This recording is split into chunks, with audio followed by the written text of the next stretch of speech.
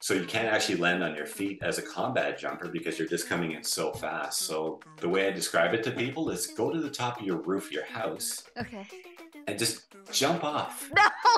No. And, and do a do a proper roll onto the grass. Like roll onto the grass. Don't land on your feet. Thanks so much for dropping in.